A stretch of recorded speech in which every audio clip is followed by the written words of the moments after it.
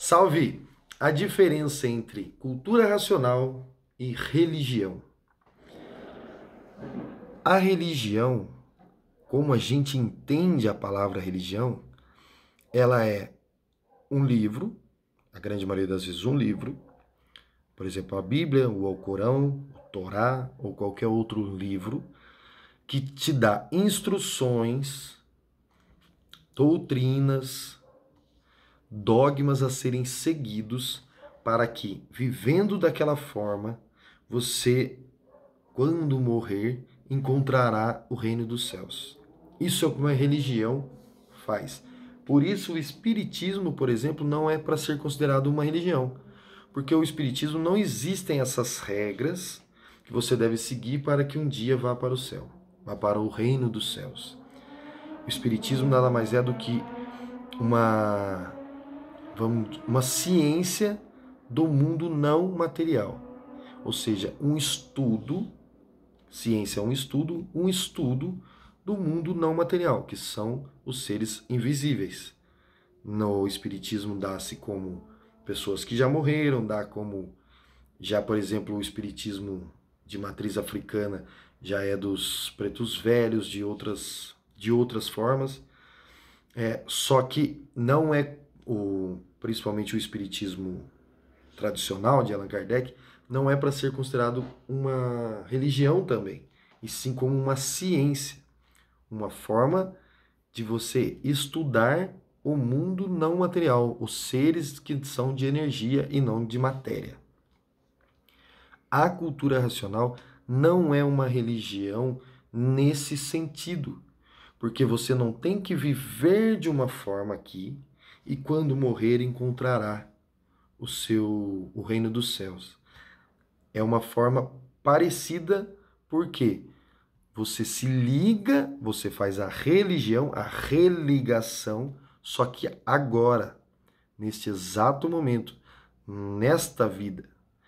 Então, nesse sentido, poderia se considerar a verdadeira religião, a verdadeira, aquela que te realmente te religa ao seu estado natural mas ela não é uma religião conforme vocês conhecem, que é aquela coisa que você vai ter uma cartilha, os dez mandamentos para serem seguidos, e se cumprir esses dez mandamentos, não pecar, não matar, não roubar, não fazer tudo aquilo, você ganhará a vida eterna. Já a cultura nacional fala: se ligue à vida eterna, se ligue agora, nesse momento, lendo o livro Universo Encanto, a vida eterna, que já não haverá morte é a absolvição da condenação à morte, o livro Universo e Desencanto. Diferente dos outros, que a morte é certa. E com isso eu não estou dizendo que esse corpo material morre. Esse corpo material morre. Não tem como ele viver aqui eternamente. Porém, a consciência, você terá consciência de que você não é o corpo material, então a consciência não morre. E quando o corpo morrer, você verá seu corpo morrer e entenderá perfeitamente que você vai sair dessa prisão que é o mundo material. Porque você está preso hoje no seu corpo. Você não consegue ir para outro lugar porque você está é, ir para outro lugar sem o seu corpo. Agora, com a cultura racional, você se liga ao mundo racional em vida, por isso é diferente da religião. E se ligando em vida, você não morre mais, você fica consciente até mesmo no, quando o corpo material morre. Essa é a grande diferença entre as religiões e a cultura racional. Então, a cultura racional não é uma religião conforme as pessoas conhecem. Não é uma religião da forma que as pessoas sabem o que é uma religião. Não tem regras, mas também não tem. É, não, não tem regras. Porém, não quer dizer que você possa fazer tudo e tá tudo certo. Ele explica que fazendo o bem se colhe o bem, fazendo o mal se colhe o mal. Isso está tudo certo. Então, não é que não quer dizer que você não deva fazer qualquer coisa, mas não é obrigatório você seguir uma, um, os mandamentos. Não existe mandamentos da cultura nacional. A única ordem que tem, e é uma ordem, caso você queira se ligar ao seu mundo de origem, você tem que ler e divulgar. Do contrário, também não precisa ler nem divulgar. Você não quer se ligar ao seu mundo de origem, não precisa ler, não precisa divulgar, tá tudo certo.